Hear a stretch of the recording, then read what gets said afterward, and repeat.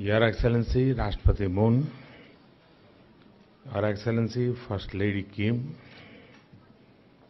Your Excellency Ban Ki-moon, my old friend, Shri हादंगसू trust के अध्यक्ष Shri Yong Hak Kim president of Yonsei university Korea के सभी युवा साथियों, आप सभी को मेरा नमस्कार। Your excellency president Moon your excellency first lady Kim your excellency the former secretary general of the UN mister Ban Ki Moon Yong Hak Kim president of Yonsei university the young people, the youth of Korea, to all of you, uh, my namaskar, my warmest greetings. मेरे लिए बहुत हर्ष और सम्मान का विषय है कि आज यहाँ कोरिया में सबसे प्रमुख विश्वविद्यालय में महात्मा गांधी की प्रतिमा का अनावरण करने का सौभाग्य मिला है It is a matter of great honor and happiness and my good fortune to unveil the bust of Mahatma Gandhi in Korea's uh, premier university today. आज का अवसर इसलिए भी बड़ा महत्वपूर्ण है क्योंकि हम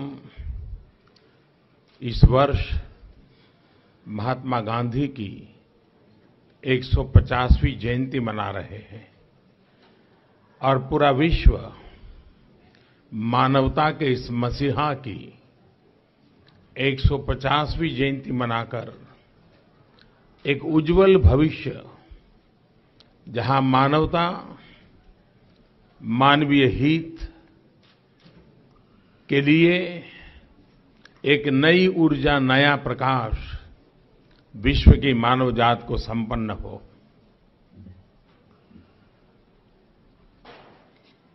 This occasion assumes greater significance since we are celebrating this year Mahatma Gandhi's 150th anniversary. Uh, and the world, uh, in fact, Mahatma Gandhi is the foremost messiah for the world, which is celebrating the 150th anniversary, looking towards Mahatma Gandhi for uh, finding in his principles a bright future, a future for mankind, uh, mankind's interest, a new energy and new light to be dedicated.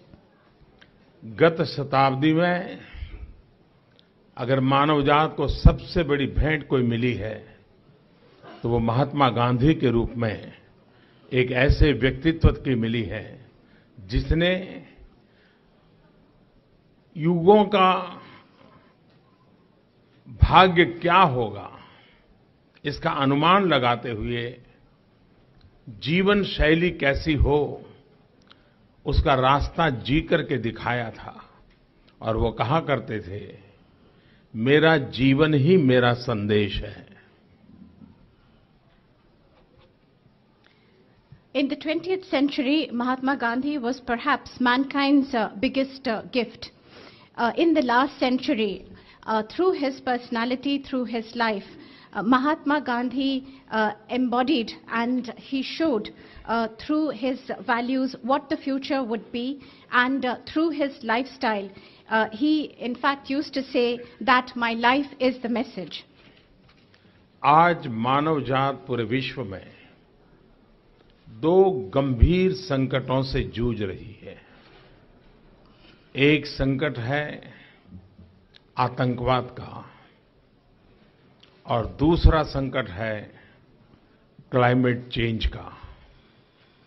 अगर महात्मा गांधी के जीवन को देखें तो इन दोनों समस्याओं का समाधान महात्मा गांधी के जीवन में, उनके आदर्शों में और उनके उपदेश में हम रास्ता खोज सकते हैं। Today humanity across the world is facing two serious problems first that of terrorism secondly of climate change if we look at the life of Mahatma Gandhi uh, we can find problems, uh, we can find solutions to both these uh, problems. If we look at his life, his ideals, and the advice that he gave, then we can find the path forward. Mahatma Gandhi कहा करते थे कि परमात्मा और प्रकृति ने मनुष्य की नीड के लिए जो भी चाहिए सब कुछ दिया है लेकिन मनुष्य की ग्रीड को संतुष्ट करने के लिए ये सारी प्राकृतिक संपदा कम पड़ जाएगी।